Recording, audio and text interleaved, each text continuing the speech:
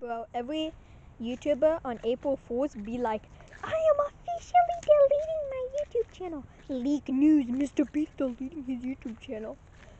This is why YouTube has deleted my YouTube channel. And then the very next day, they go like, ah, I got you good. That's crazy. Subscribe.